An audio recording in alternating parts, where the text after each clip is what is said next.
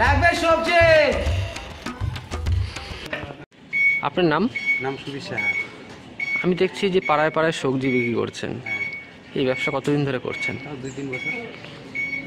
কেমন লাভ হয় দিন গেলে? লাভ নাই এতে পাড়ার লোকের কতটা সুবিধা হচ্ছে এই আপনি মধ্যে বাধা যেতে লাগে না। আচ্ছা।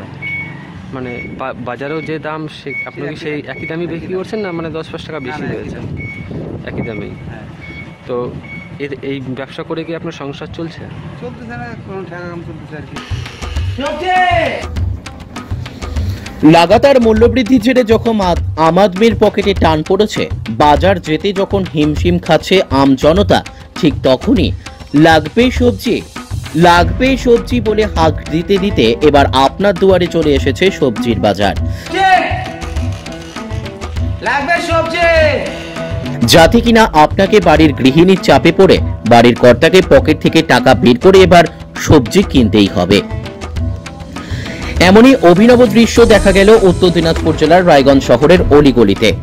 দুয়ারে দুয়ারে ঘুরে বেড়ানো সেই সবজি বিক্রেতা সুবীর সাহা জানান, তিনি এই ব্যবসা গত দু থেকে তিন বছর ধরে করছেন। প্রচণ্ড তাপপ্রবাহে যখন মানুষ বাড়ি থেকে বের হতে পারছেন না, তখন তিনি বাড়ির দুয়ারে দুয়ারে নিয়ে যাচ্ছেন বিভিন্ন রকমের সবজির সম্ভার।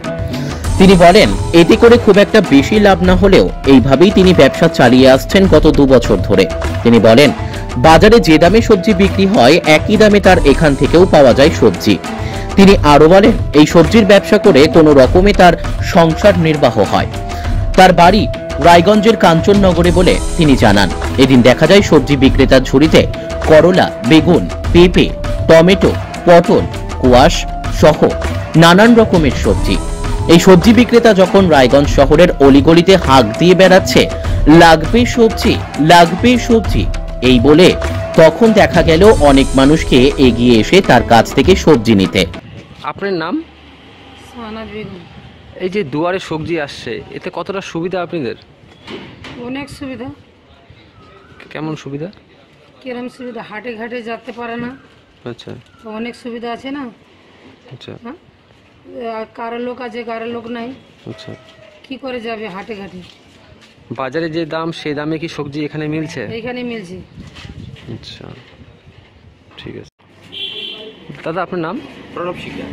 বলছি যে এই পাড়ায় সবজি আসছে। এতে কতটা সুবিধা হচ্ছে আপনাদের?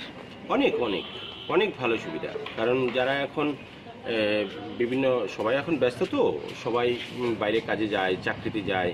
তো বাড়িতে যারা বাবা মা বৃদ্ধ আছেন তাছাড়া যারা মহিলারা আছেন তাদের রোজের মধ্যে বাইরে যেতে হয় না। বাড়িতে সবজি আসে একই দামে ভালো গুণগত মান সমস্ত কিছু ঠিকঠাক। ফলে আমরা বেশ উপকৃত আর কি। আচ্ছা। তাদেরও দু পয়সা কামাই হয় আমরাও সময়টাও সাশ্রয় হয়। তাছাড়া প্রচণ্ড তাপদাহ এই উত্তরবঙ্গ জুড়ে বৃষ্টির কোনো রকম দেখা নেই হ্যাঁ? এরাও যে সবজি বিক্রি করে সেই সবজিগুলো যদিও শুকিয়ে যায় আর কি রোদে ঘুরতে ঘুরতে ঘুরতে ঘুরতে সব মিলিয়ে আমরা অনেক ভালো আর কি দুয়ারে সবজি পেয়ে দুয়ারে সবজি আসাতে অনেকটাই উপকৃত আপনারা? একদম একদম।